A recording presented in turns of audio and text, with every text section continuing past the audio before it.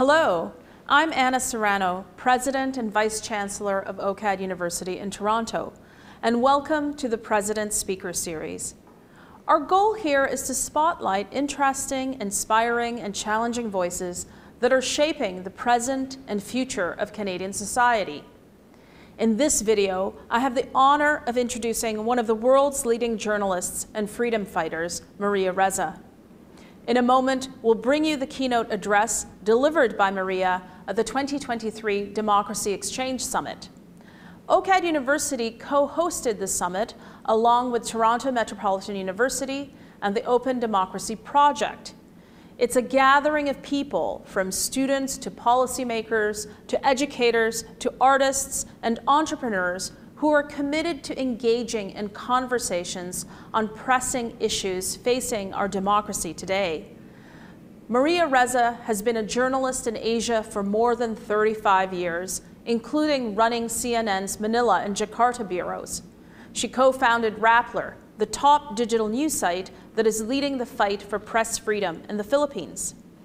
In her work, she has endured constant political harassment and arrests by the Duterte government and was forced to post bail 10 times to stay free. Today, she's still facing charges for speaking and publishing the truth. For all her incredible work, in 2021, Maria was one of two journalists awarded the Nobel Peace Prize in recognition of her efforts to safeguard freedom of expression.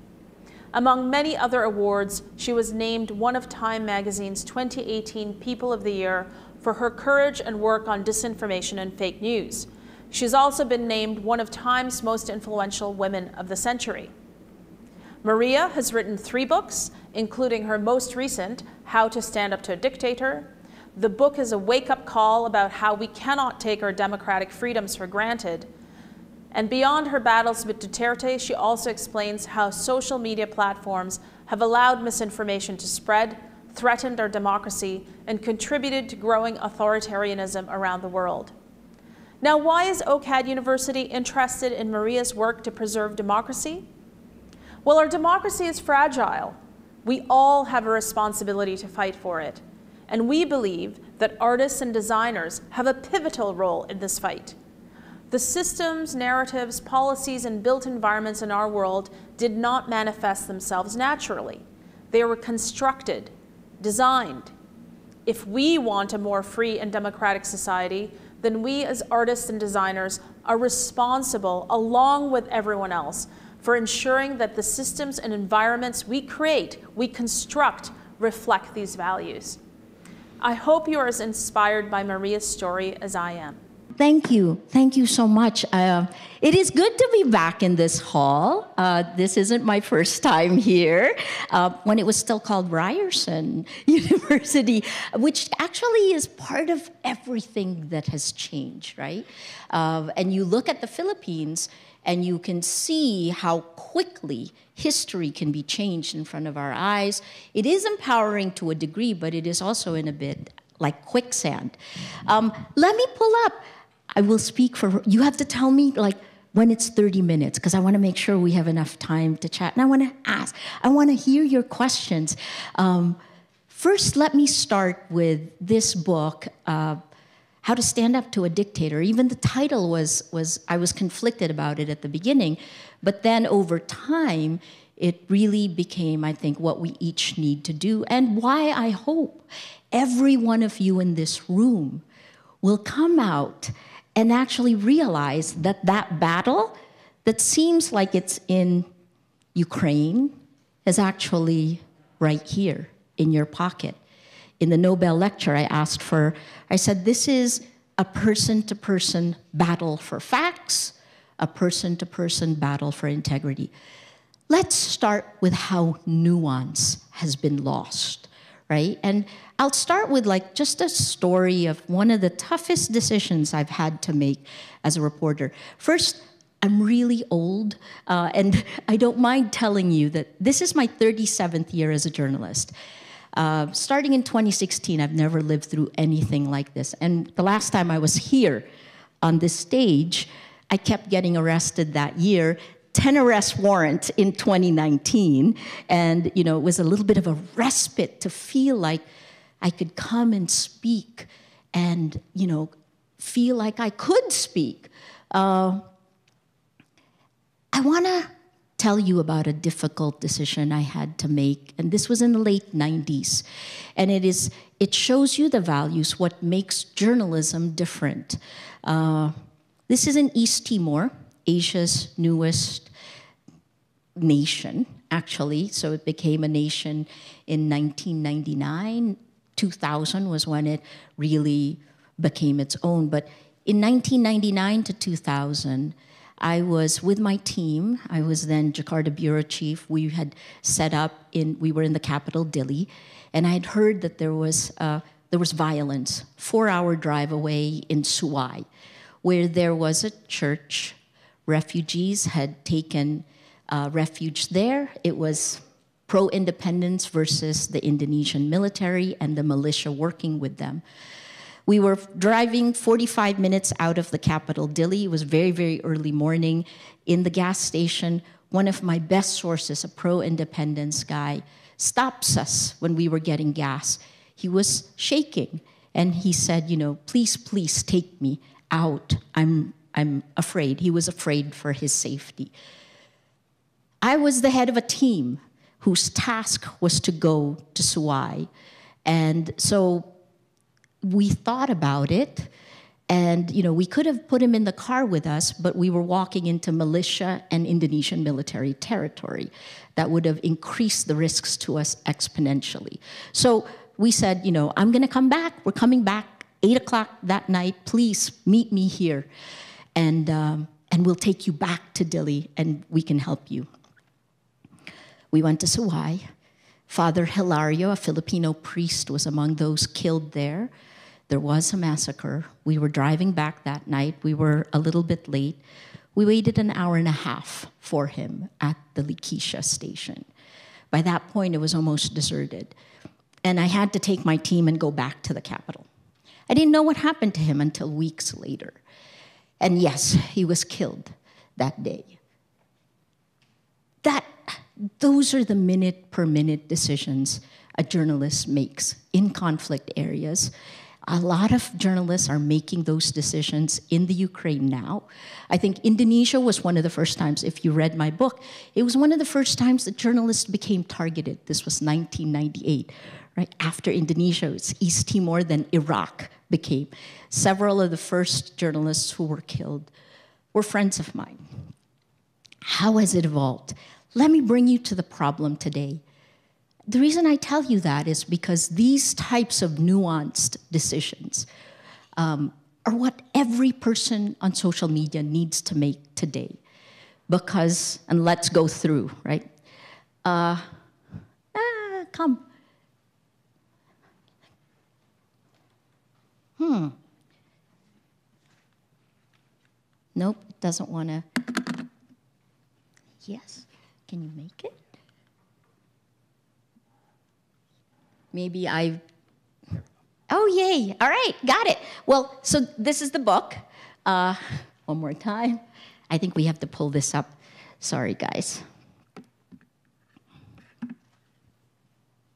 Yes.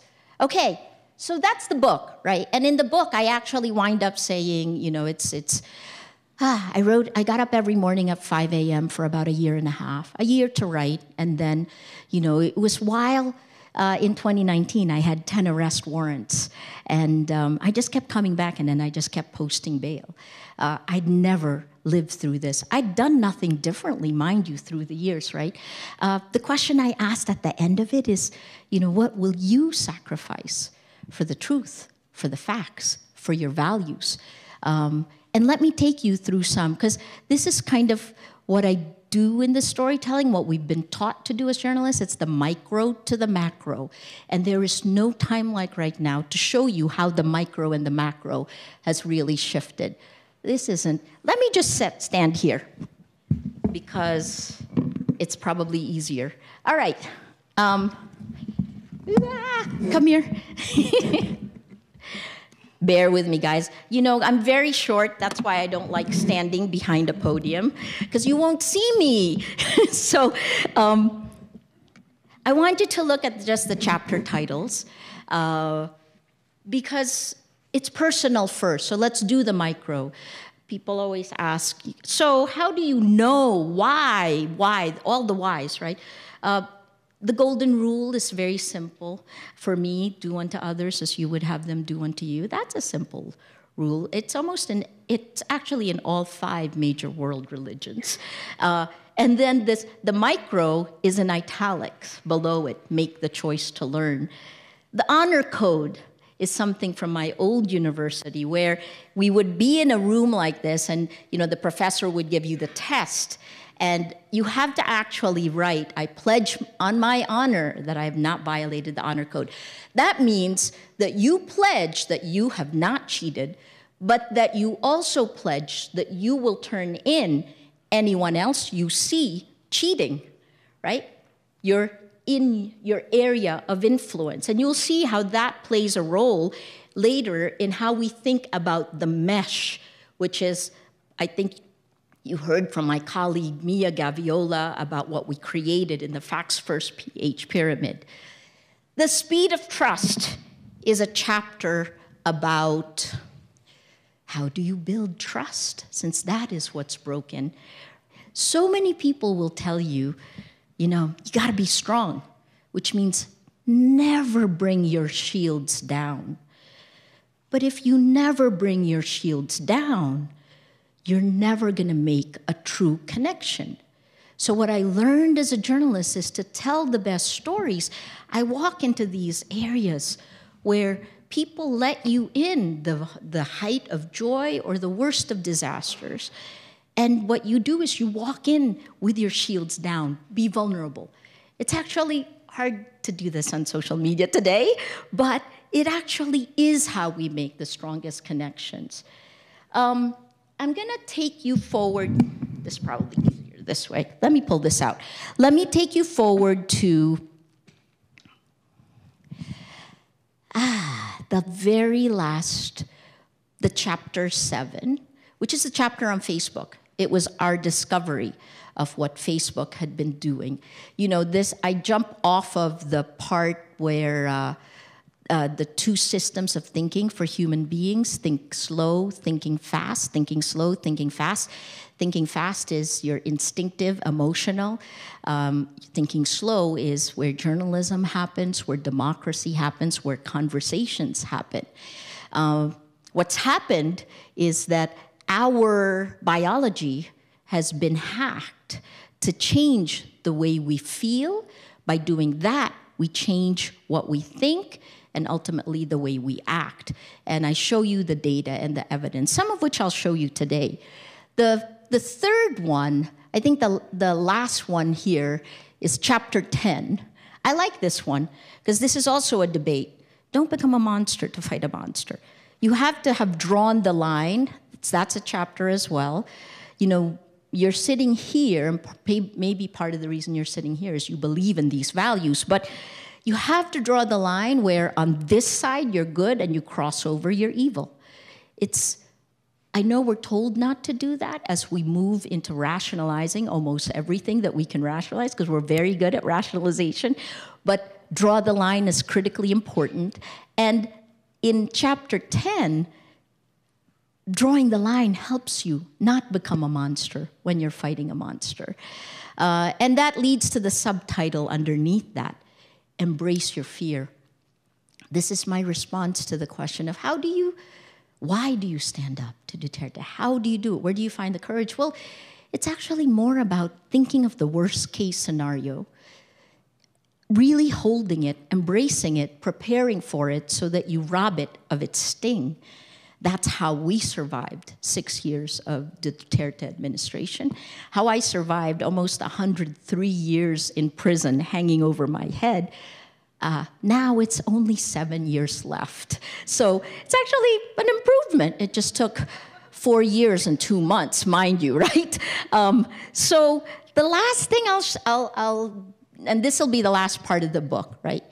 Is hold the line. You heard our former Vice President Leni Robredo talk about holding the line because Nietzsche was right. And this is my personal lesson because so many people, including my family, who I just saw right last night at the wedding of my niece, who we weren't sure she would actually grow up and get married because at five years old, she had cancer. Anyway, uh, it was what doesn't kill you makes you stronger. This is what we learned in Rappler. Let me go quickly over those lessons because I want to make sure um, Ana and I have. So let me summarize this, right? In the Nobel lecture, I talked about how uh, this is now a person to person defense of democracy. I speak to you today because I want you to realize that this battle is yours, that it isn't in Ukraine, that it isn't in the Philippines, it isn't out there. Canada knows. But Canadians are, like I said in 2019, are far more powerful than many of us in the global south. So please take note. What we've lived through is death by a thousand cuts. And Madeleine Albright calls it slicing the salami, but I use this because I studied Al Qaeda and how the virulent ideology traveled both in the physical world and in, in the virtual world, right? And what they said is the way you Osama bin Laden targeted the West by saying that he will run after the West with death by a thousand cuts.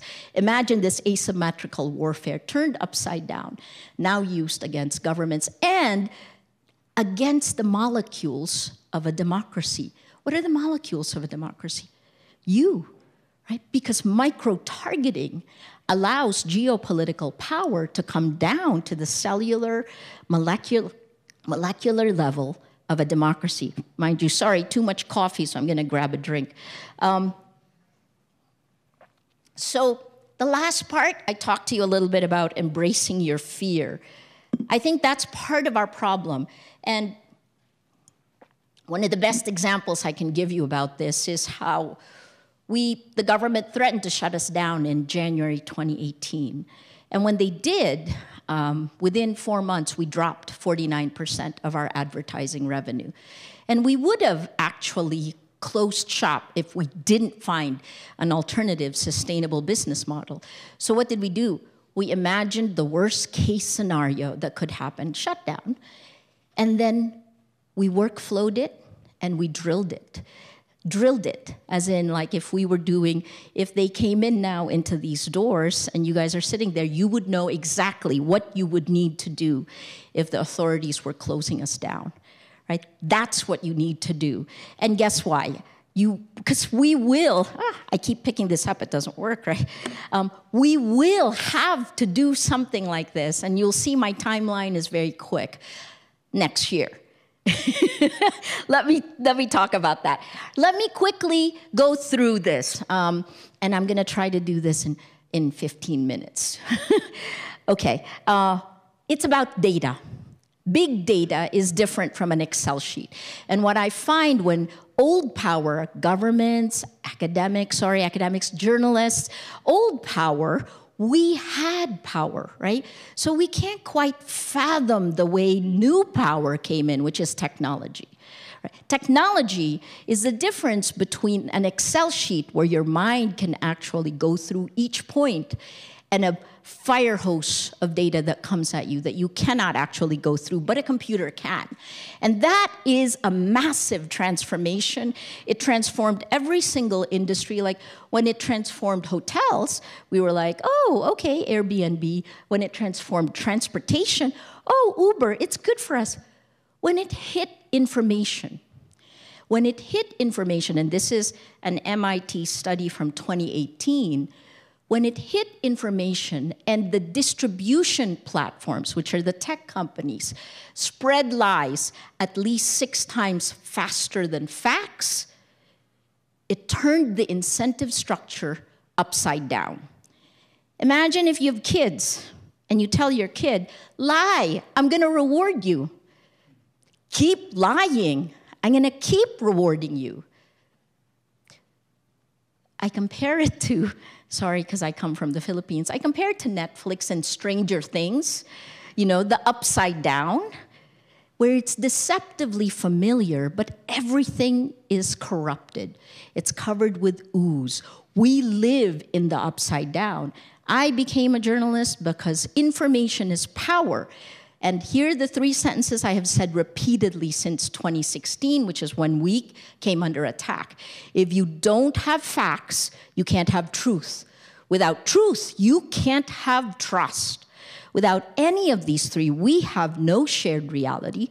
We can't solve any problem, let alone have a functioning democracy. I feel as sorry for government officials trying to do the right thing as, for, as I feel for people like me, journalists under attack. And I will show you the data behind this, right? It is an impossible situation.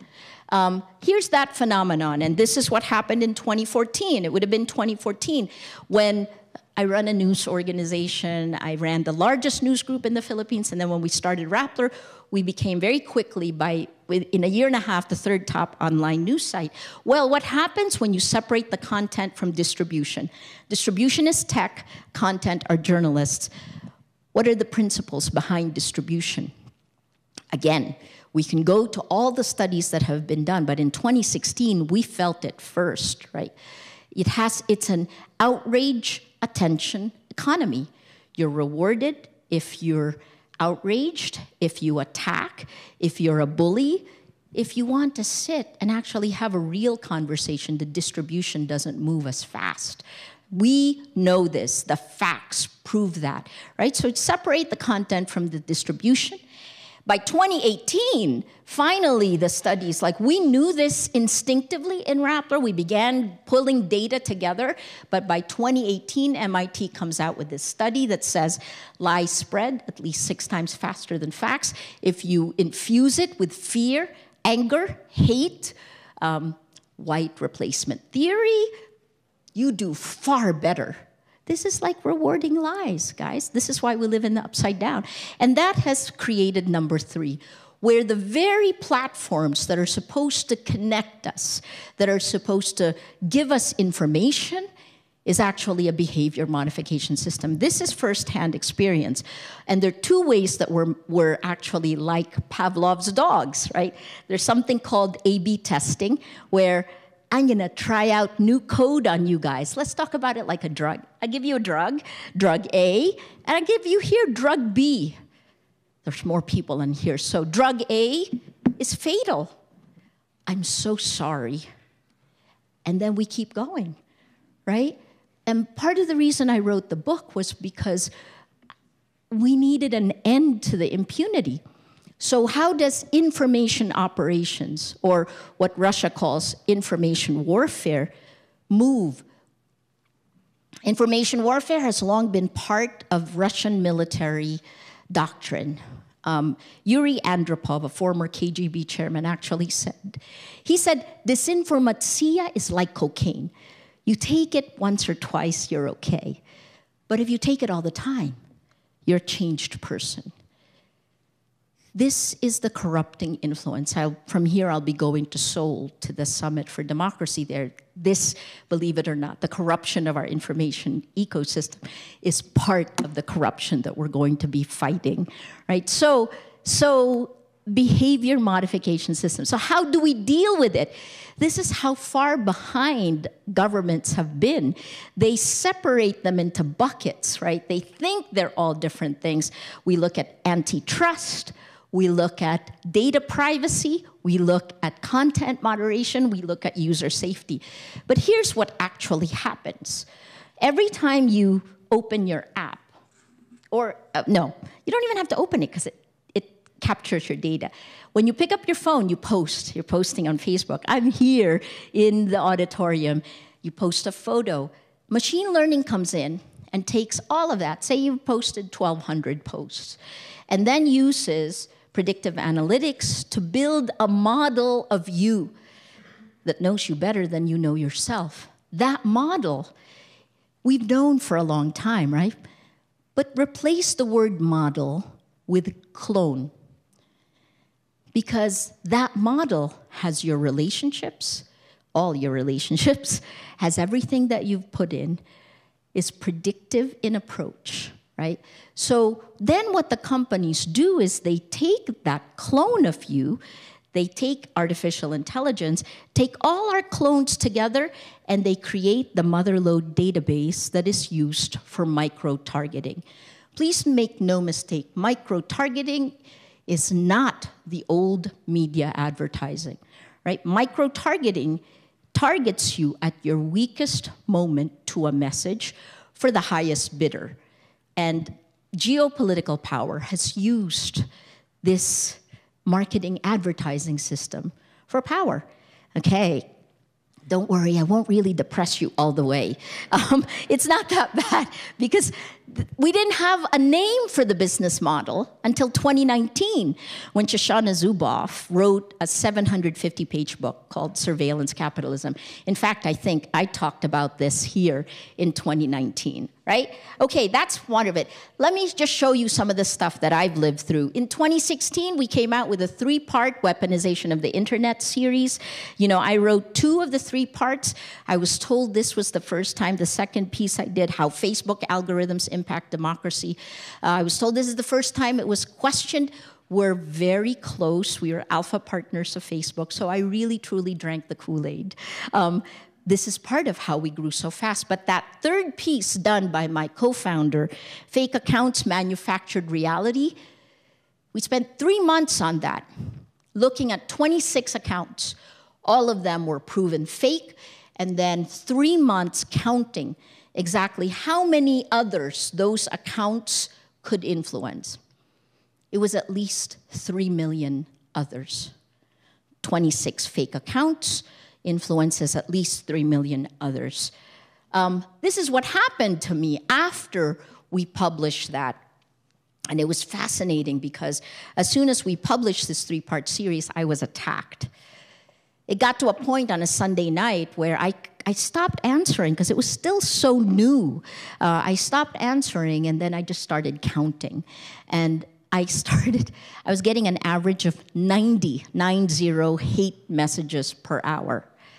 This was the network. So what we did, and you've heard, you've seen Nerve, which is what Mia Gaviola runs. I think you saw her. what we did is we began to look at social network analysis to track these I don't like being helpless.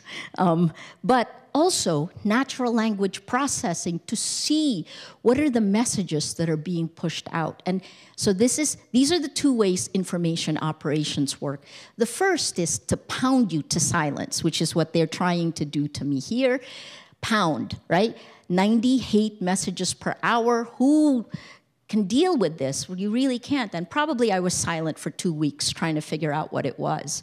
Then we decided to get the data. Um, the second thing that it does is only the target sees all of it. It's like that elephant, and everyone feels one part of the elephant. And one, but as the target, such a curse and a blessing. strangely. So that's when we realized, oh my God, okay, um, the meta narrative they were seeding, this is the third part of an information operation, was setting the stage for all of my arrests. By 2017, the meta narrative was um, Maria is a criminal, journalists are criminal, hashtag journalists are criminal. This is the first wave of 10 waves of networks, so organized that each one of these are broken down by demographics. This one is in charge, ah, where are you? There Okay, so this, oh, you really can't see. This one on the left is kind deals with the thinking class.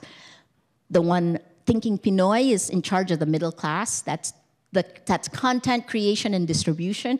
And finally, our mass base is a singer dancer who has attacked Leni Robredo significantly. This is the same network that also attacks, but those are the vectors, right? I can tell you so much more about it, but the discovery is quite fun. What travels on these? Let me show you some of what I've dealt with. Things like this, you know, you wake up and you, you're a cave person and you know everything about me was attacked they were looking for everything vulnerable so that meant um, the way i looked the way i sounded my gender uh, my color, my skin color, depending on where they are in the world. And this is a global network that jumps in on top of it, especially if I do anything about India, for example. That's a crazy one. We could talk more about it.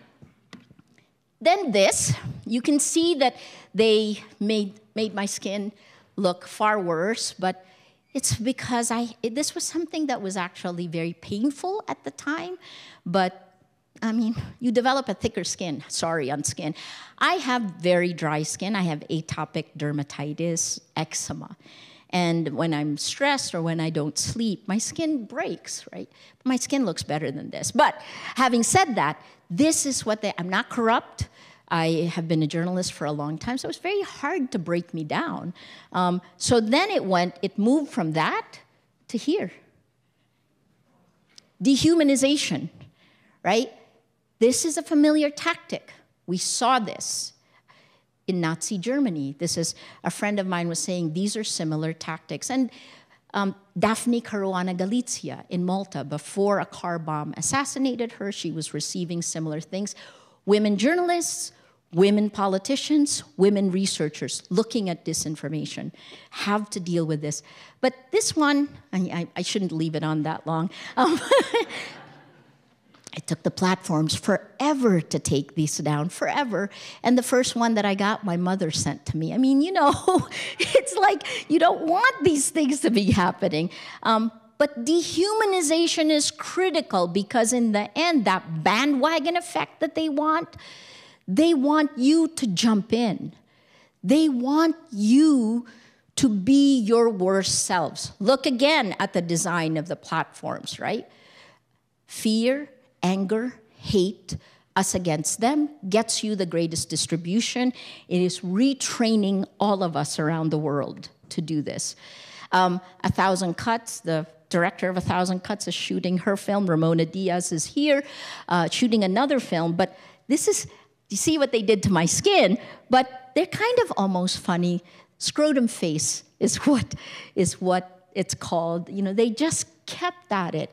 There was a period of time especially after all the legal attacks began.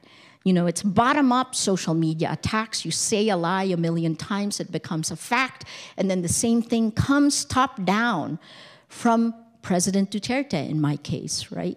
Um, and then when the platforms begin to take it out, they then create code words. No journalist should have to live through this to do our jobs scrotum face. I'm not alone, and this is the best part, is that we are finally it's almost like climate change deniers, you know? We're finally getting to the point. UNESCO came out with this report with the International Center for Journalists. It's called The Chilling. They did a big data case study of about half a million attacks against me, but there were other women journalists. There are almost 300 pages of this. You can see that 73% of women, now we're talking about gendered disinformation, 73% experience online abuse.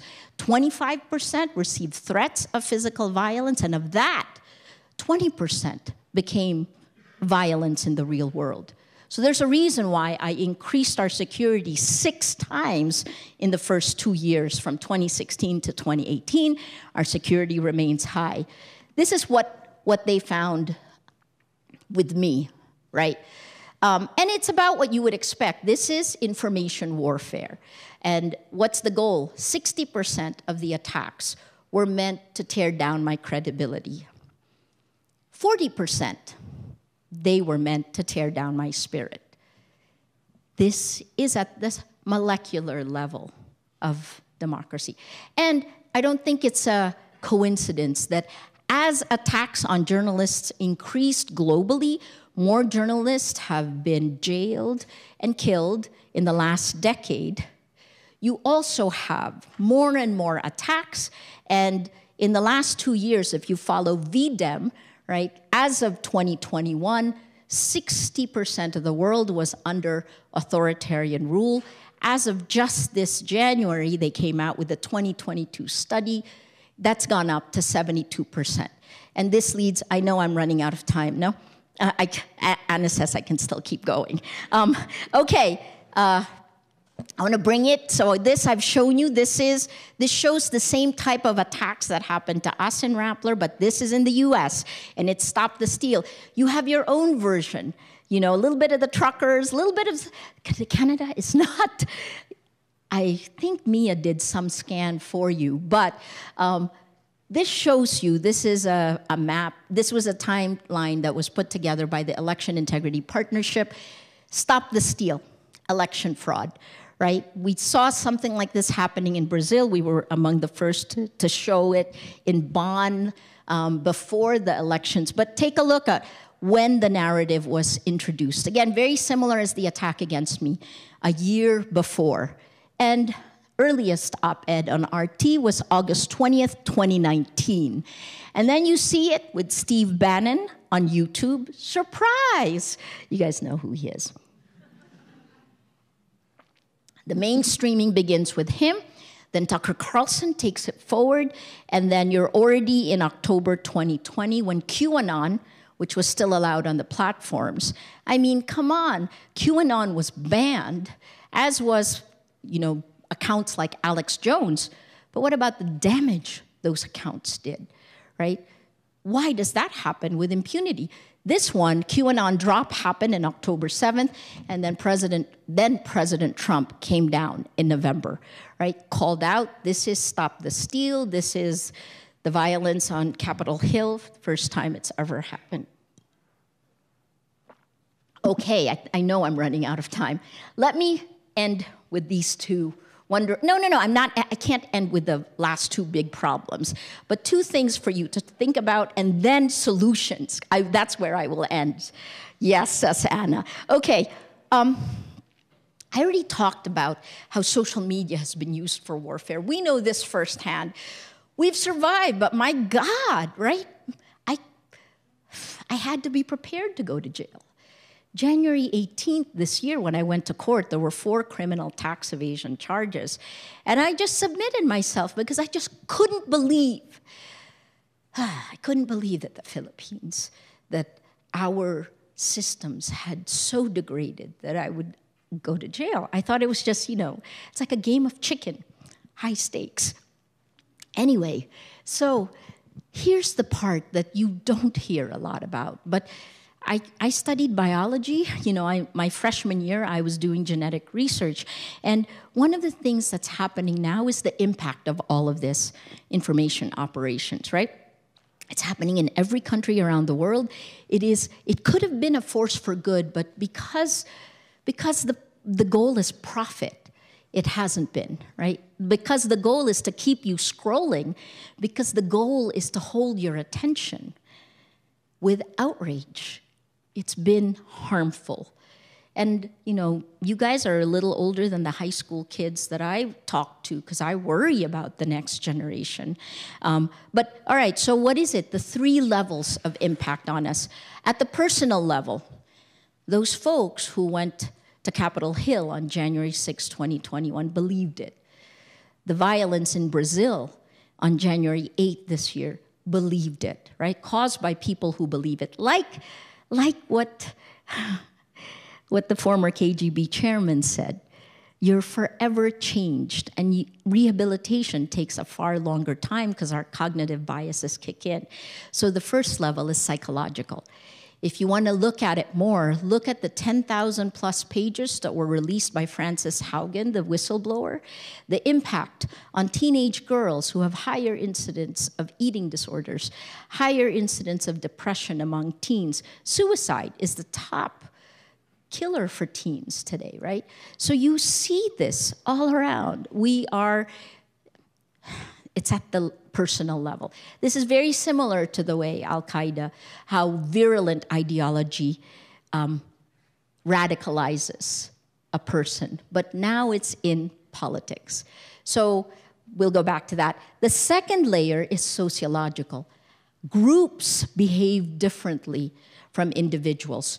Groups, in the chapters I showed you, the chapter on Indonesia is about it's about where I learned about mobs, right? Because in 1998 to 1999, I was going city to city to city every week, and it was violence, one group against another. It was after the end of Suharto's rule. He, it was like opening Pandora's box, right? And the people in those mobs, the individuals are really nice people. But the mob, the mob kills, right? So, sociologically, on the group level, we've known these studies. Milgram, we've known the conformity studies. These have all people behave differently in groups. And when you encourage mobs, which is what the design does, you get the damage of mobs. The third is the last part that I think not enough research has been done on. This is emergent human behavior, or, you know, if you think about it evolutionary wise, it's the evolution of our species. The longer we allow this to continue, the worse it will get because literally our synapses, you know, our attention span. When I was a TV reporter, it would be, you, Maria, you need to capture their attention in the first 10 seconds. I had 10 seconds. The poor reporters today, they have three seconds, right? That's the attention span of a goldfish. Guys, how can we teach our next generation meaning if they have ADHD, right? This is what the technology is doing. And I think they need to be part of the solution, but we need to look at the solutions. Um, finally, the last two minutes of democracy. Um, I pegged 2024 as the tipping point. Between January this year and then, there will be 90 elections globally. How will you have integrity of elections if you don't have integrity of facts? Right? How will you, how will you make your choices if there is insidious manipulation at scale? I was in Paris when Macron, um, so I, will talk about the solutions. But you know, right now, I was in Paris when the yellow vest protests began, and I went out in the streets, and everyone said they organized on Facebook. Okay, yes, but when I was leaving Paris, there were cars burning on the streets. I could not. I, it's normal, right? So it was actually that's when I realized. Finally, the last part we are electing illiberal leaders democratically. It is connected to the rise of the far right. And if you're rightist, it's okay. You can be rightist. Let's just all live in the same world of facts, though, right? Like, but what we are seeing is that part of this is because they are exploiting the information ecosystem that allows lies to spread faster, that allows outrage to get the message out clearer. And those poor folks who don't want to lie, who don't want to incite hatred, where do they go? Right? So we've seen this happen. I've seen this, that woman you saw introduce me. Um, I have a solution though. Don't worry. I'm, I'm still depressing you. I got to go to the solution. But here's the last part, right? So we are electing illiberal leaders democratically. When they do, like in my country, they crush the institutions of democracy from within. President Duterte did that within six months. He was the most powerful president we have ever had. And slowly, I mean, the fact that 34 years in prison just went away last January, you know, is the independent judiciary is kicking back in. And that is one of the ways that these damaged democracies move forward. Um, but those countries don't stay in their country, they ally with each other globally.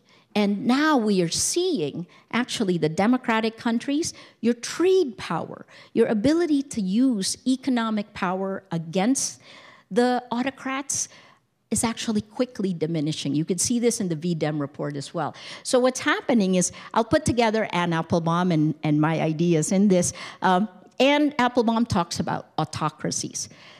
I live through kleptocracies. So globally, power and money drives it, and it is corrupt. All right, let me let me give you solutions. May I? I gotta stop. Okay, there's three pillars in Rappler. These are the same three pillars I showed you here in 2019 technology, journalism, and community. right? Because we thought my elevator pitch in 2011 when I raised the seed fund for Rappler was all of $2 million. And we built something that, you know, held up under Duterte. Um, we build communities of action, and the food we feed our communities is journalism. You can replace, replace journalism with facts, which are really boring, right? Facts are really boring. And we spend our careers learning how to tell good stories so we can keep your attention. Well, here's what I'm doing now on the technology end. Rappler's building its own tech platform. I would have had it done by 2017 if we hadn't come under attack, because all that money to build the tech went to pay our legal fees. Um, but now it's called Lighthouse, and what we'll do is you know, we have to build communities of action, and the debate can continue as long as it's evidence based, as long as it's fact based. The second thing is, I think when in dealing with technology, let me give you a timeline. Long term education, it will take you a little while to actually see the fire hose of data, see how it connects with tech, see the impact. If you're trying Chat GPT, let's chat, right? I mean, there's so many wonderful, horrific things happening simultaneously. We're living on quicksand right now. And that's weirdly exciting because we can also create, right? So, long term education, medium term legislation. And this is what I've spent the last two years at the EU, the last time I testified. I think even for the disinformation group for Canadian lawmakers, we were talking about. Uh, Francis Frances Haugen and I testified simultaneously the last time. I know you have legislation up. We can discuss that later. In the short term, it is just us. It is just us. It goes back to you, and I'll go back to that. Journalism, journalism needs to survive. The business model is dead because micro targeting has taken over from advertising micro targeting delivers better returns, but you're killing, actually, you're killing the group that is stand, that's supposed to stand up to power. So um, I co-chair the International Fund for Public Interest Media with Mark Thompson, former president of the New York Times and BBC Director General. Last year, we raised about $50 million from democratic nations, new money for journalism. Um, and we're about to roll them out now. So that's a good thing because we need to help those poor journalists putting their fingers in the hole in the dam about to break down on us. So that's that's the second part. And then we need to find new forms. I'll tell you more about TikTok later. Community is the last part. This goes to you, right? Um, we build communities of action, and I will show you some of those things. Let me end with a community that we built that actually gave me great hope. Um, if you if you watched Mia's presentation, um, this is what we did in the Philippines. And, you know, we were supposed to start it in October of 2020, 2021, October 2021. But that Nobel announcement got in the way. and so we didn't, start, we didn't start it till really the end of January. But let me tell you what it is. And, and frankly, you guys should be considering something like this. Four layer pyramid connected by a data layer. Um, we did this in conjunction with the Google News Initiative. Believe it or not, yes, they can be good guys, they can be bad guys. But we also did the data pipeline with Meedan, which is a San Francisco startup. Bottom layer, 16 news organizations working together. Never happened before in the Philippines, even though I've been trying, we've been trying to get them together since 2016 when we saw the danger signals. 16 news organizations doing fact checks. Remember, fact checks are really boring and they don't spread, right? So you create the second layer. We call it the mesh think the honor code again, right? You're responsible for your area of influence. So that layer, the mesh, is 116 civil society groups, human rights organizations, climate change organizations, all these NGOs we work with for a whole host of issues. Kick in the church, kick in businesses. The businessmen finally came in, right? And what they did, their task, I think Mia showed you, what we did is we did an influencer marketing campaign for facts, those boring facts. And their task was to share these boring fact checks, but add emotion. And they couldn't use anger. So, what did we discover? We were actually able to take over the information ecosystem because we discovered that inspiration spreads as fast as anger, right? That was critical. The third layer are these academic institutions. Um, there were six of them working with us on it with the data pipeline. They take the data every week leading up to elections. One group will do will tell us who is being targeted, what is the meta narrative kicking in, and who benefits, right? You, you can imagine who continued to benefit.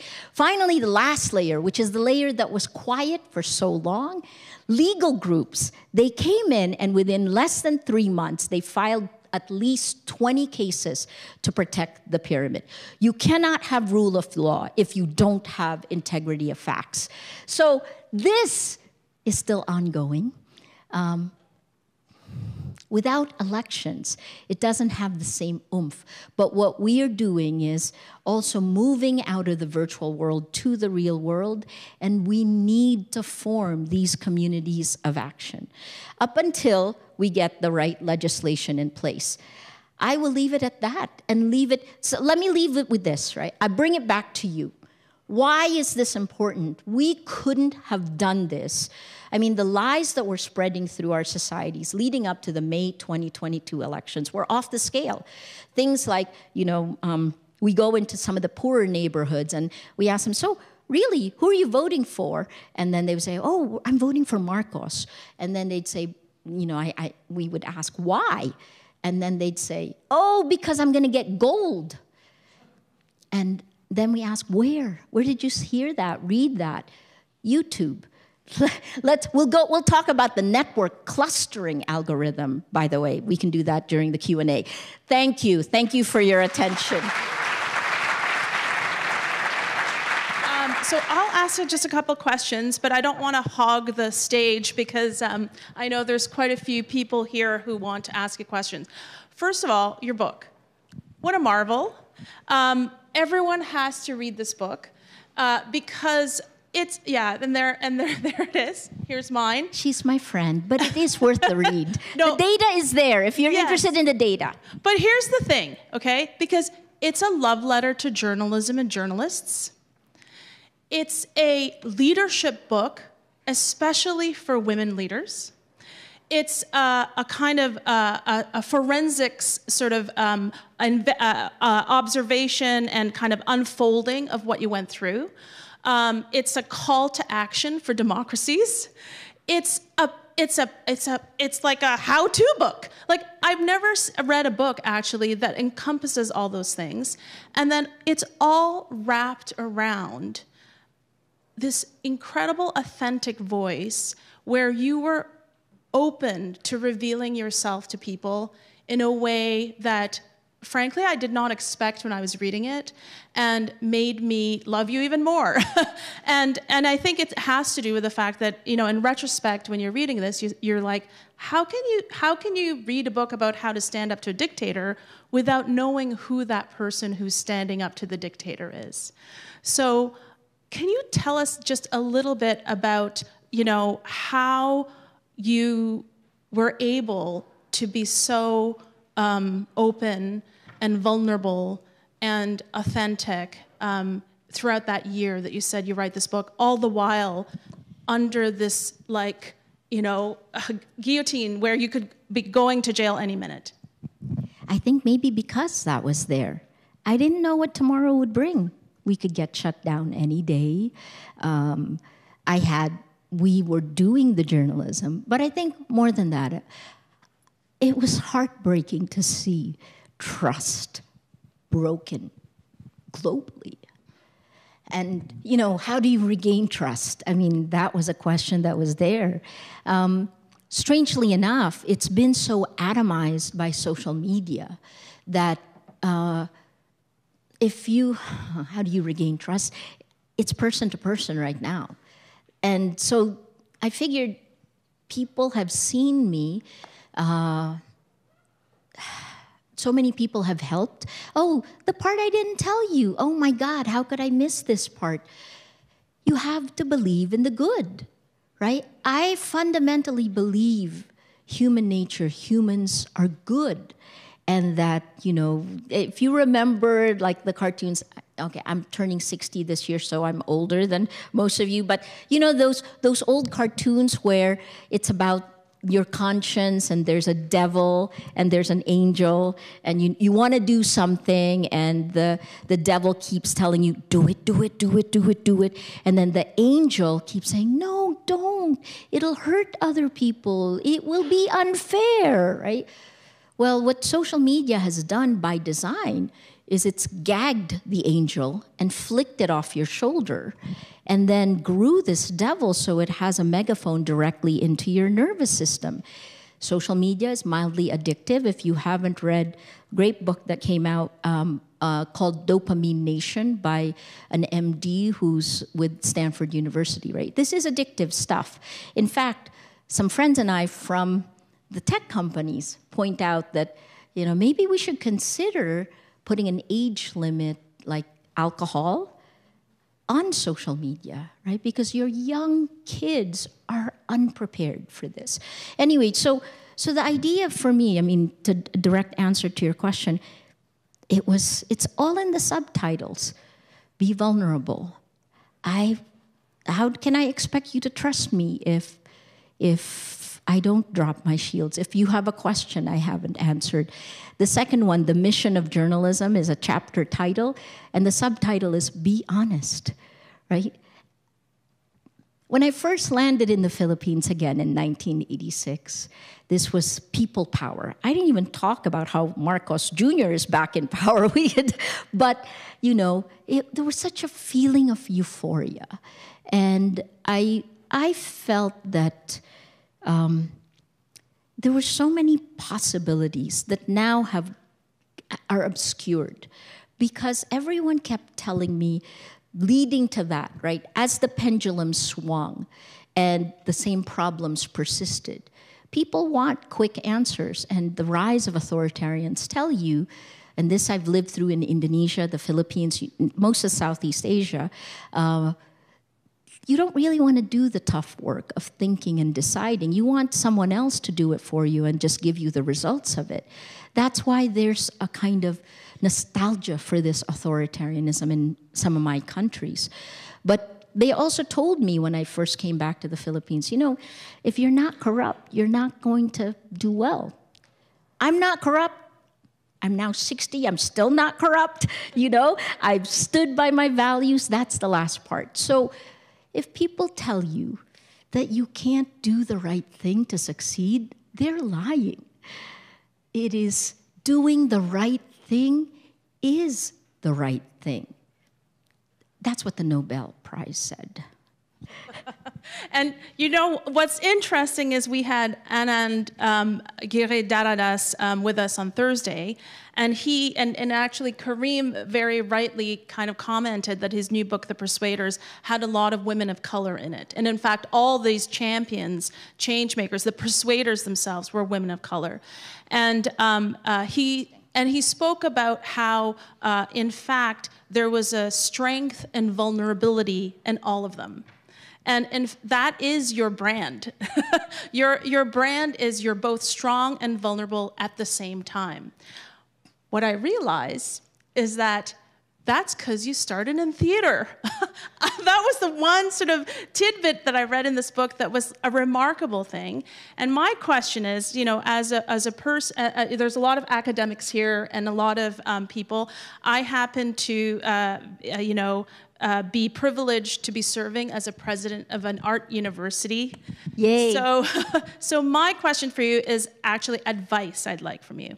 Um, where is the role of art in that pyramid of facts, okay, the fact, well, in those kinds of pyramids, yeah. um, you talk a lot about facts. What about the kind of um, inspirational things that can come out of artistic practice? It isn't in facts. You don't get it in facts, right? And this is part of the reason in the mesh layer, we had artists, cartoonists, we had moms who were his history buffs doing TikTok, right? It, it is, so here's the thing I'm always an optimist. I'm ever an optimist. And what I hope will happen out of this period of creative destruction is that journalism and art to a degree will mesh, right? Because art uh, appeals to the part that isn't rational or isn't logical, right? That's the way we speak.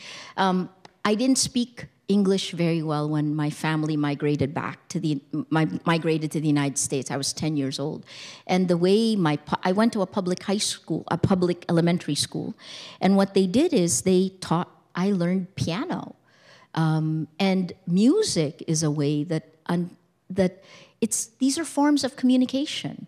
Um, art opens you up in ways. I think now, as we go to the end of 2024, I didn't tell you I were in the last two minutes. The last three major elections in 2024, right, is going to be India, world's largest democracy, Indonesia, world's largest Muslim population, and your neighbor down south. Um, they will. Those are the three 2024 elections. Canada has held the line largely, but I I do think Canada can do more, sorry. Um, but uh, so, so art is when no one knows who to turn to. I get this question all the time. So, who do we trust? Most of the time, you can see you will trust your family and friends above news organizations, which I think is partly because of the erosion, the attacks on news organizations that have happened repeatedly. These are information operations. Uh, so, where are your family and friends? If they're like my family and friends, I think it's in the book, you know, but my parents voted for Trump. Uh, but they don't like Duterte. Uh, so it's it's actually I think we see so many divided families, and I I come like you do from different cultures, and it's the boundary spanners, someone who connects different cultures. I think it's in these areas, it's in the creativity of people where we will find the answers moving forward. So, big fan of the arts. I mean, yeah, let me stop there. and before I turn to the audience, I just have one last question around the young, the young people, because we've got tons of students. We have a ton of students also virtually. And um, in fact, Justin Ling said something interesting earlier, which is, you know, are we being too um, uh, sort of cynical about them? Because can't they just turn off? Aren't they also just turning themselves away from Facebook, turning themselves away from you know Instagram, and turning off their phones. Um, you speak about the fact that they might not be able to because it's too addictive, but could it become so out of favor if we talk about it enough that they will actually do the, the work for us? You think our rational mind controls our emotions. It's the other way around. Even before social media, the study showed that 80 to 85% of the way we vote is not based on what we think, it's based on how we feel, right? It's why you have campaigns the way they are. So it's emotions that win. And when your emotions are repeatedly triggered, and when you are being commodified, right? Really think about this. The last time human beings were commodified was the age of industrialization, and it was labor. Right? What happened? We had those robber barons and they had sweatshops, they ran factories 24 7, they had child labor. What did democratic countries do? They put laws in place. And what did labor do? They created unions. Now, What's being commodified is our attention, our emotions. And in this age of outrage, there are no uh, safeguards, right? So I would say the two groups that abdicated responsibility for protecting us are the tech companies that took over the gatekeeping role, because news organizations were held accountable. You can sue us. It is our jobs, right? We. This is why there's a mission. It is a love letter to journalism. But the other part, the other one that abdicated responsibility are democratic countries. You know, there's a building code for this building. It is not going to fall down around us. Why can we be treated like Pavlov's dogs through our emotions and how we think? Why? Why do I have to deal with these attacks that in the old world would never have been allowed in traditional media? Right? So you can, I, I've done all the arguments because I was the one we created Rappler. It's purely digital. So I've come from both ends, and I will tell you the data is really clear. Great. So, Will, before we um, turn to this audience, let me look at our virtual audience on Slido. The first one is um, What is your message to Filipino immigrants who want to be civically engaged here but struggle because they need to provide a better future for their families? Oh my gosh. Wow, that's, that's actually really critical because look, let's be real. A post pandemic, econom- the economy is going to be critical. Everyone has to take care of their families. Please keep watching the news. Don't avoid the news because it's bad news. This is one of those things. Um, I would say talk to your families, right? Don't. Uh, avoid the emotions. In the book, I talk about how I wanted to be Mr. Spock but I also value Captain Kirk, and I've always wanted to put them together. Be Mr. Spock if your family is very, very emotional, but you know, it starts in the physical world.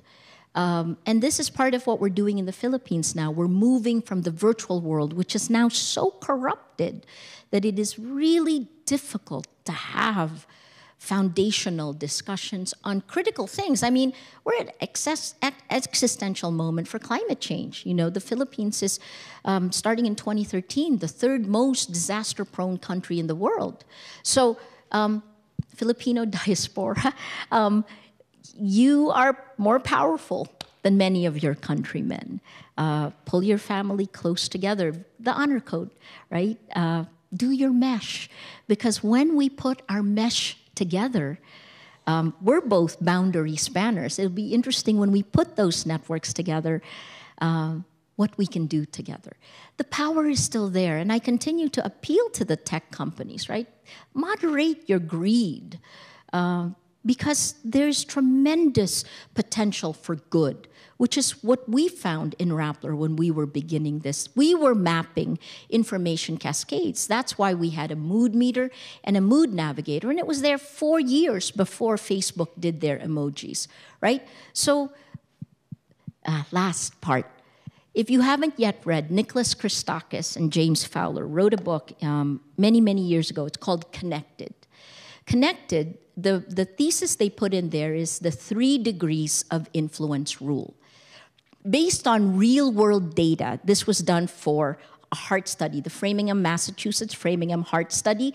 They had three generations of data, and they were able to look at that data, and they proved that emotions and behavior spread in the physical world through three degrees of influence, right?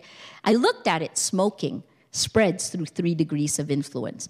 But even an emotion like loneliness, where you think, you know, lonely. If you're lonely, you kind of stay in your room. But if I'm lonely, my friend has a 54% chance of feeling lonely because I do. My friend's friend, the second degree, has a 25% chance of feeling lonely because I do. And my friend's friend's friend, third degree, has a 15% chance of feeling lonely because I do. We are all connected, right? That's not, and this is part of like where religion. We, didn't, even, we haven't even gone there. But long answer to your question, you know, please do not give up. Yes, take care of yourself. You must. But at the same time, take care of the world around you. And our goal is to connect the mesh together. So if you go and reach out to them and you don't give up, I'll just uh, go to question two, which is like, how do you also play that role as the as a as a as a bridge to ensure that you stop the flow of misinformation and um, the radicalization of your family members? What what are some of the the you know uh, uh, you, you kind of alluded to it by saying like if you just spew out facts you know maybe that's not going to work it too won't. well so what are the kinds of things that we can be doing hug them a lot hug each other a lot, spread love, not hate. Now I sound like not a journalist, but you know, um, it really is person to person, right? This is part of what I've realized in this. And as a journalist, I really kind of stayed away from it, but both the micro and the macro tell you this. Um, my friends in the United States, their families are divided. Um, it is I'm looking forward to seeing some study on emergent human behavior. But this is impacting us, all of us. Uh, we've never had so many connected on these platforms. And if you think Facebook is a blunt mallet, TikTok is a surgical probe, right? Uh, when you're on TikTok, you have no choices, right? The less choice you have, the more effective it is in, in dealing with this. So, yeah. Did I answer your question? Yes, you did. And in fact, it was something that Maurice Mitchell, another uh, keynote that we had, talked a lot about, which is like you can't actually, um, you don't realize how important kindness is and love, and compassion, and, and understanding that we're all swimming in the same sort of situation. So we should expect dissent and, and, and difficulty and difficult conversations and our and our and we just need to be able to hold that with kindness and compassion. Think creative destruction. Right? I also said this in the Nobel lecture. We are standing on the rubble of the world that was. It's deceptively familiar. But this isn't that. The systems are falling apart. Our relationships are falling apart because what connects us, the tech companies that connect us, actually are in, in injecting themselves into this. I mean, in the Nobel lecture, I asked for an end to Section 230 of the 1996 Communications Decency Act, which gives these tech companies impunity to keep spreading lies, right? They can make more money at this, but this is also why journalists are under attack, why I've had to deal with this stuff, why many, many more. I mean, if you were vulnerable in the old in the physical world lgbtq plus if you're an ethnic minority you are far more vulnerable online. And we haven't yet found how to really deal with this. Our we're like spaghetti, throwing spaghetti against the wall because rappler is there in the trenches and i'm not just going to sit there and keep getting hit right? But we have standards and ethics. We have values. That's the other part that i think you know, what are text values? Well, that's certainly what the Canadian government is trying to figure out. And we've got a very specific question on that, which is what are your thoughts on Canada's um, proposed Online News Act? I read up on this just because I knew you were going to ask. Um, my quick take on this, and please let me, you know, I, I think that C18 is trying to fix a broken business model that isn't the, the core of the problem, right? I, I always talk about, uh, about our information ecosystem like a river. Right? It's a polluted river because remember that factory that has all of our clones that is micro targeting, it's spewing out lies into the river. Well, that river, that polluted river, content content moderation is like taking a glass, scooping up polluted water, dropping in that tablet that clears it up, and then you throw it back in. That's content moderation. Uh, C18 doesn't go far up enough. What is it doing? It's almost like a square peg in a round hole. Uh, because in the end, look, I'm a disruptor in my country. Rappler um, was, I think, before we came under attack, we received the largest we grew the fastest and received the largest investment of any media in Southeast Asia because we had ideas of, of community, technology, and journalism, right? Um, but my old network that I managed, were they happy that we were doing this? Absolutely not. Did they want to kill Rappler? Yeah, absolutely, yes.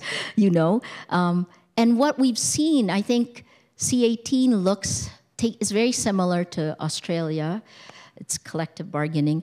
Um, the big players win for sure, right? But it's again a stopgap measure. But please remember for the digital players, and I'm going to give you kind of some averages across the world. If you're a purely digital player, let's say 40% of your traffic, 40 to 45% of your traffic will come from Google. The rest of it, depending on the, the social media, uh, how, how deeply it penetrates your society in the Philippines, 100% of Filipinos on the internet are on Facebook. It's not even social media. Um, so depending on that, social media can kick in 40% to 50% of traffic. In the global south, in Brazil, it's a lot, right? Take away both of those, your digital players will die. Um, unless you're willing to do more, right? What's the problem? The problem is to fix the information ecosystem. The problem is to turn the world right side up so that facts, so that lies don't spread faster than facts, so that facts reach you so that you can make a decision. And that can't be in an environment where you're constantly bombarded for profit with emotions to trigger outrage. That's core right? So that's why, I mean, the closest we come to it is the Digital Services Act and the Digital Markets Act in the EU. They have the Democracy Action Plan. That's been a while in the making, but you know, I always say the EU is the fastest of the turtles. Um, it's out this year, right? It kicked, it was approved last year and spring this year, it's really out. C18 is half formed, and I worry for you um, what that means, because that means you take them out of, you take the facts out of social media completely. It's actually exactly what Mark Zuckerberg did in January 2018. Right before the Cambridge Analytica scandal happened in March 2018, they could see it coming. And he said, Really, I want you to stay connected to your family and friends. But you know what that means? You don't have facts in your feed. That means disinformation spreads more right? That is dangerous. And what we saw in countries like Slovakia in January 2018 is that traffic to Slovakian news organizations dropped 60%, right? There are, these are cascading failures, right? And there is evolution and innovation that needs to kick in. So that's that's the only thing. I know you have two other laws that you're looking at now, and online harms hasn't really been fleshed out. But I've testified a lot in the UK on this, and again, it's the same thing, right? The big players, and they they might kill me. No, um, those with power want to keep power.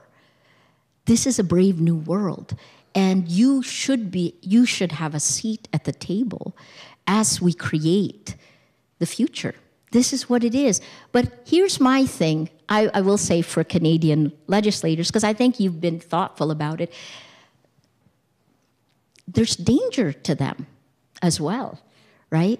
Because it is so hard to communicate nuance in any of these. So, in a way, what they're doing is letting tech and media fight each other out. But in the end, who will survive this? Is this going to be good for the public? They're going to they stepped out a little bit of it. And i think this is problematic. Uh, sorry canada can do better. Well this might help actually. Um, i know that there are folks who have questions. Is that correct? Yes. Oh here hands. i can get i can get okay, okay. Oh, sure. One more Slido question. Okay. Oh, sorry, sorry, sorry. One more Slido question. Um, people from your own country and beyond have tried to break you down and discredit you through the years. How do you continue to see the good in people? Oh, thanks, Maria. Oh my gosh, because I mean, first, Rappler right? I gotta tell you, when we came under attack, so when we got our first shutdown order in January 2018, I held a General Assembly because it was a different, it was different. And the median age in Rappler is 23 years old, right? And we were at that point 63% female.